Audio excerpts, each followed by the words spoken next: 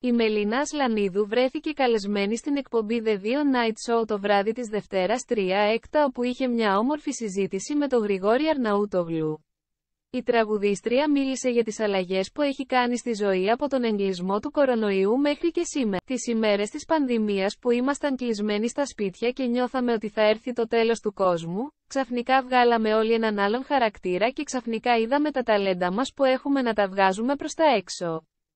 Εγώ τουλάχιστον έτσι το αντιμετώπισα, έστρεψα τα φώτα μέσα μου. Είχα ξεχάσει πως ζωγράφιζα και άρχισα να ζωγραφίζω ό,τι υπάρχει μέσα στο σπίτι, ανέφερε αρχικά η Μελίνα Ασλανίδου.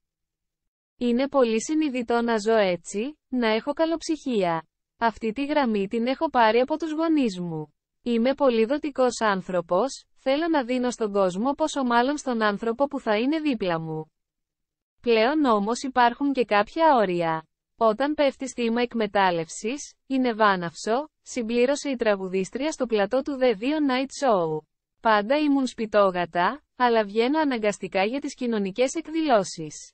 Κουράστηκα την περίοδο της πανδημίας, εκεί μου βγήκε όλη η κούραση, όλων των χρόνων που δεν είχα σταματήσει καθόλου, είπε.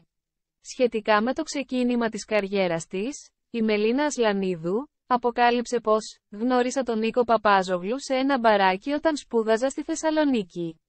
Γίναμε φίλοι και ήρθε να με ακούσει μετά από πολλά χρόνια. Δάκρυσε όταν του αφιέρωσα τον Αύγουστο.